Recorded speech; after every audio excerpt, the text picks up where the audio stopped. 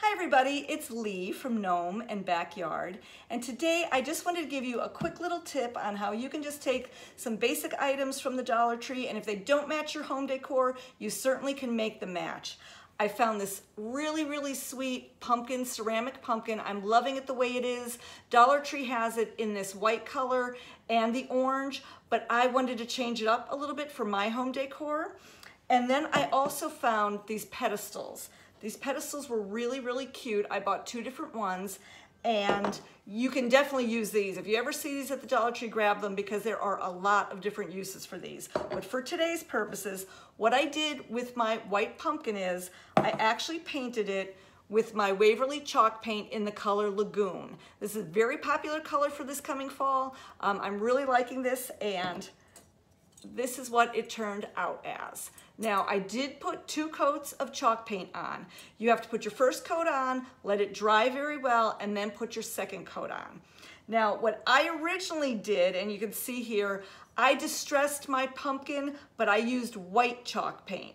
And then the more I looked at it, and I'm one of those silly people that go, oh, I probably really shouldn't wear white after Labor Day. And when I saw the white on it, I just wasn't loving it. So I thought, you know what I'm gonna do? I am going to use my Waverly Plaster Color Chalk Paint. It's just a little darker. This is actually my favorite color of chalk paint to use. Um, it's just a little darker than the white. So all we're gonna do is do a little bit of dry brushing here right over the white that I already did. And the, the difference is gonna be very subtle, but I, I definitely can tell the difference. And for dry brushing, you just use a little bit of paint, dab it off on your uh, paper towel, and then just give it some quick, quick strokes.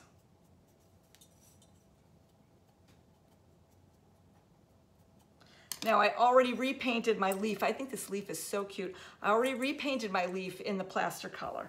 So I'm really, really liking this. Now, what I wanna do with the pedestal is I actually wanted it to be one solid color. So I this was two-toned originally. It was dark blue and cream. I painted the entire pedestal with my plaster uh, chalk paint. And to give it a little bit of a farmhouse feel, I am going to take some hot glue and I'm going to take some of my Dollar Tree rope and I'm just gonna wrap it around in three different places here. Now just remember when you're using your chalk paint, you usually do have to give it two coats and then let your first coat dry very, very well. These little pedestals, you can, they're so versatile. There's so many uses. You can use them for so many different projects. I just absolutely love them. You might not find, now these are two different ones I just found at my Dollar Tree. You might not find the exact same ones. I've seen them in black right now also, a little bit of a different shape and size, but I would grab the pedestals when you do see them because there are a lot of different uses for them. Look how cute that is. That is so cute.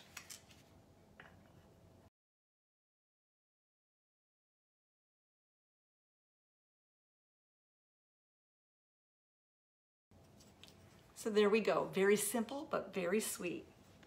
And I'm just gonna place my sweet little pumpkin right on top of that. Now, if you have any type of lights that would fit in the bottom of this, by all means, that would be adorable. I don't have any that fit. Um, if you notice, the holes in the bottom of these are they're a little awkward, they're a little different. Maybe you could sand them and uh, maybe wet sand them and make the hole a little bit bitter, bigger so that you could fit a candle like this inside. That would be really cute. Um, I even tried my Dollar Tree little luminary candles and this will not fit in the bottom.